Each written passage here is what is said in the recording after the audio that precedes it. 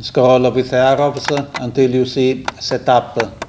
The instruction may vary from machine to machine, but this is the procedure. Press OK. Scroll with arrows until you see restore default settings.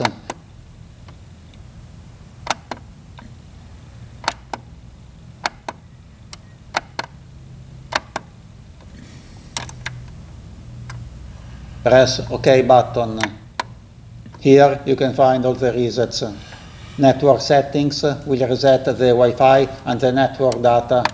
All except the network will reset all the data except the Wi-Fi network data. All data will reset all the data. Press OK. Press OK. Your printer is now back to the default settings.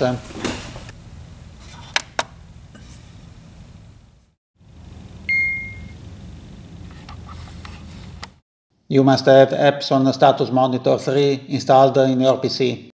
If you haven't it, in the description you will find a link to a video on how to download Epson Status Monitor. Open Epson Status Monitor 3. Click on uh, Reset Defaults. Click OK. Done. Note that uh, this procedure will not reset the ink levels, the waste ink counter, or an error code related to a broken part.